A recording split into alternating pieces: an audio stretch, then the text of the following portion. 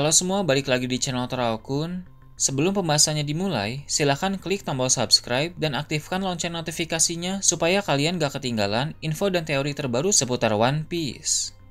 Buat kalian yang mau informasi tambahan soal SBS atau databook, kalian bisa follow Instagram Toraokun. Di sana admin akan memposting soal SBS, databook, dan berbagai teori singkat. Sekarang lanjut ke pembahasan. Chapter kali ini dimulai dengan memperlihatkan Kurohige yang bereaksi setelah mengetahui Luffy yang berada di Elbaf. Kurohige tahu jika Luffy datang ke pulau itu, maka dia akan bertemu dengan Loki. Kabar tentang Loki yang membunuh ayahnya sendiri demi mendapatkan buah iblis legendaris sudah diketahui oleh Kurohige, karena ternyata Kurohige memiliki informan di dalam pulau itu. Kurohige telah dikonfirmasi sebagai orang yang suka mempelajari sejarah, sehingga dia sudah tahu kekuatan apa yang dimiliki oleh Loki. Dia bilang bahwa kekuatan buah iblis Loki itu sangat berbahaya. Tadinya Kurohige juga sempat ingin merebut buah iblis itu dari Pulau Elbaf, namun terlalu beresiko jika melawan seluruh raksasa yang ada di sana. Keuntungan yang didapat tidak sesuai dengan kerugian yang ditimbulkan, karena pasti banyak pasukan Kurohige bahkan beberapa komandan Titan yang akan tewas jika berurusan dengan seluruh kerajaan Elbaf. Namun, karena saat ini Loki sudah memakan buah iblis itu dan menjadi musuh kerajaan Elbaf, maka jika nanti Loki keluar dari pulau Elbaf, Kurohige berencana untuk memburu Loki. Menghadapi Loki di luar pulau Elbaf akan lebih mudah daripada menghadapi Loki di dalam pulau Elbaf. Selain membahas soal buah iblis Loki, Kurohige pun membahas buah iblis Luffy. Sejak lama Kurohige sudah curiga bahwa buah iblis Luffy bukan hanya sekedar buah iblis karet. Dan ternyata memang benar buah iblis itu adalah Hito Hitonomi model Nika yang memiliki kekuatan Dewa Matahari Nika. Sesuai dengan foto Luffy yang ada di dalam poster terbarunya yang sedang dalam wujud Nika.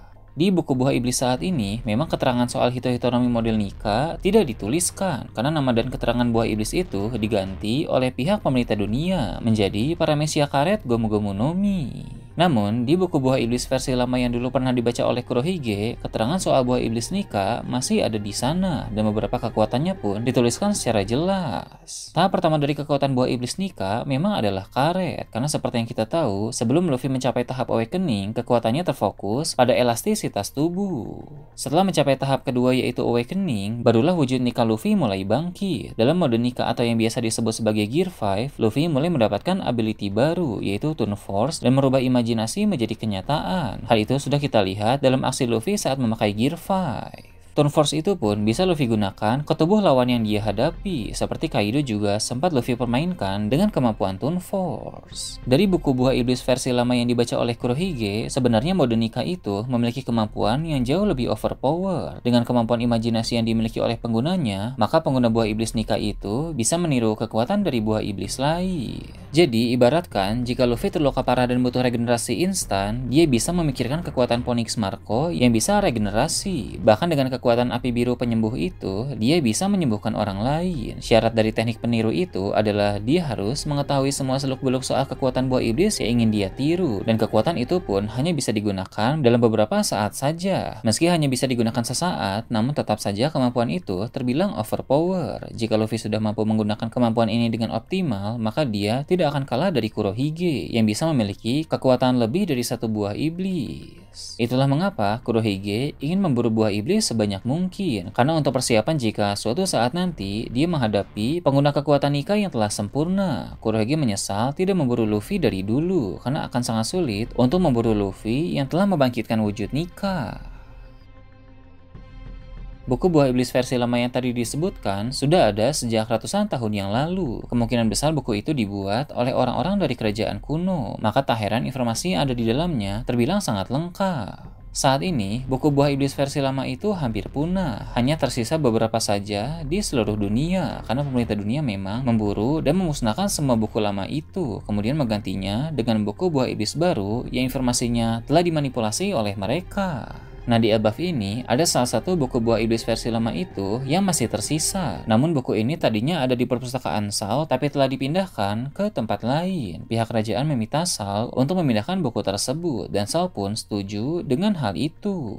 Perpustakaan Sal bukan tempat yang cukup aman karena bisa didatangi oleh siapa saja. Takutnya ada pihak pemerintah dunia yang secara sembunyi-sembunyi menyusup ke perpustakaan itu dan mencuri buku tersebut. Jadi tempat paling aman untuk menyimpan buku buah iblis versi lama itu adalah adalah di tempat yang sama dengan harta karun Elbaf yang lain. Tempat itu adalah di dalam ruangan khusus yang terletak di dalam inti pohon Adam. Para raksasa menjelaskan bahwa pohon Adam dikenal sebagai pohon harta. Hal itu juga pernah diucapkan oleh Loki kepada Luffy dalam chapter yang lalu. Selain karena menjadi tempat tinggal bangsa Elbaf, ada beberapa alasan lain mengapa pohon Adam disebut sebagai pohon harta. Memang secara umum, pohon Adam disebut sebagai pohon harta karena kayu yang dihasilkan dari ranting-ranting pohon itu memiliki kualitas yang sangat bagus, sehingga bisa dibuat menjadi berbagai macam hal. Salah satunya adalah menjadi kapal yang sangat tangguh. Selain itu, dulu juga diketahui bahwa pohon Adam pernah menghasilkan buah iblis. Pohon itu terakhir berbuah adalah ratusan tahun yang lalu. Jadi pada zaman ini, pohon Adam sudah tidak menghasilkan buah iblis lagi. Buah terakhir yang dipetik dari pohon Adam adalah buah iblis legendaris Elbaf yang dimakan oleh Loki. Karena itulah buah iblis itu sebenarnya sudah diwariskan secara turun-temurun dari ratusan tahun yang lalu. Pihak kerajaan memutuskan untuk tidak boleh ada yang memakan buah iblis itu. Namun warisan tersebut pada akhirnya dimakan oleh Loki. Karena Loki mengambil buah iblis legendaris itu setelah membunuh ayahnya sendiri.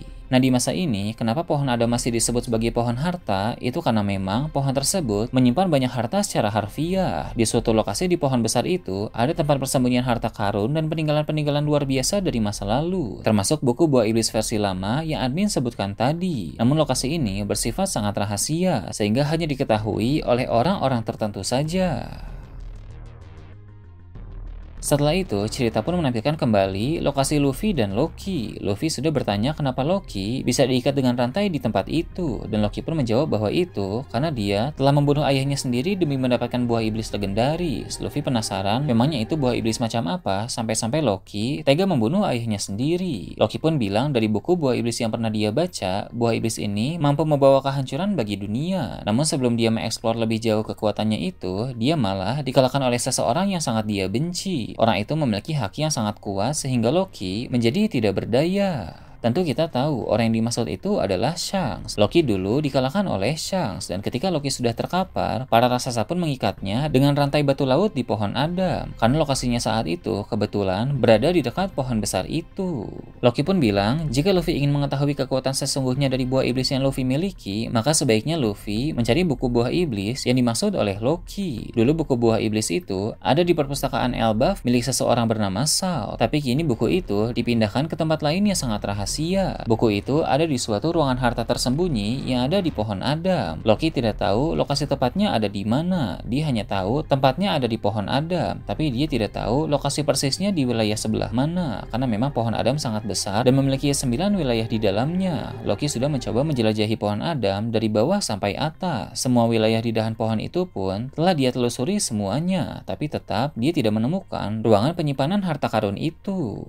Tak hanya ada sebuah buku saja, Loki bilang bilang di sana juga ada harta, senjata, dan peninggalan yang berasal dari suatu negeri. Yang dulu suatu negeri itu memiliki peradaban yang sangat maju dan menjadi sekutu Elbaf dalam perang yang sangat besar. Tentu kita paham bahwa negeri yang dimaksud itu adalah kerajaan kuno. Luffy yang mendengar itu terlihat tidak tertarik. Dia tidak tertarik dengan harta benda, apalagi hanya dengan sebuah buku. Orang di kelompoknya yang menyukai buku hanya Robin saja. Jadi Luffy berkata, lebih baik tawarkan buku itu kepada Robin saja. Meski Luffy bilang begitu, namun cepat atau lambat, semua harta karun Elbaf termasuk buku buah iblis itu pasti akan didapatkan oleh bajak laut topi jerami. Luffy kemudian bilang dia lebih baik mengasah kemampuannya sendiri. Dia tidak suka jalan pintas untuk mencapai sesuatu secara instan. Luffy adalah karakter yang sudah menguasai dua jenis kekuatan dengan sangat ahli, yaitu Haki dan buah iblis. Untuk buah iblis tidak perlu diragukan lagi, Luffy sudah sangat mahir dalam menggunakannya. Dia sudah menciptakan banyak jurus dan juga mencapai tahap lanjut lanjut dari kekuatannya, yaitu tahap awakening.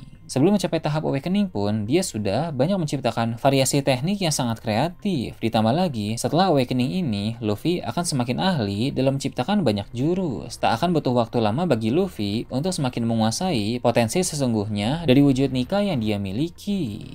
Berdasarkan buku buah iblis versi lama yang dibahas tadi, sebenarnya mode Nika milik Luffy itu memiliki kemampuan yang jauh lebih overpower. Dengan kemampuan imajinasi yang dimiliki oleh penggunanya, dia tidak hanya bisa menciptakan benda atau senjata saja, tapi juga bisa meniru kekuatan dari buah iblis lain. Sangat menarik jika nanti Luffy benar-benar menguasai kekuatan itu secara sempurna dan mampu menggunakan berbagai macam kekuatan dari banyak buah iblis lain. Selain itu, untuk haki, memang Luffy sudah sangat mahir dalam menggunakannya. Namun potensi haki yang sesungguhnya masih lebih tinggi dari yang sudah Luffy capai. Acuan pengguna haki yang sudah mencapai tingkat akhir adalah Shanks, karena seperti yang kita tahu, Shanks mampu melihat masa depan yang sangat jauh dengan Kenbun Shoku Haki miliknya. Bahkan Shanks disebut sebagai pembunuh Kenbun Shoku Haki lawan, karena ketika lawannya menggunakan Kenbun Shoku Haki untuk melihat masa depan, Shanks mampu melihat masa depan lebih jauh dari lawannya itu, sehingga Shanks selalu lebih unggul dalam setiap pertarungan. Hashoku Haki Sans juga sangat kuat, karena mampu membuat rasa sekuat seperti Loki langsung menjadi tumbang. Kalau untuk Bushoshoku Haki, Luffy sudah terbilang sangat ahli, karena dia mampu melapisi Bushoshoku Hakinya dengan Hoshoku Haki, sehingga pukulannya pun menjadi semakin kuat. Dia bahkan bisa beradu serangan dengan makhluk sekuat Kaido. Tinggal meningkatkan Ken Bushoku Haki yang bisa melihat masa depan dengan lebih jauh dan Hoshoku Haki yang sekuat Shanks, maka Luffy pun sudah menjadi master dalam tiga Haki. Setelah semua hal itu dicapai, maka Luffy akan akan menjadi pengguna buah iblis terkuat sekaligus pengguna haki terkuat. Semua hal itu akan dicapai dalam perang akhir nanti.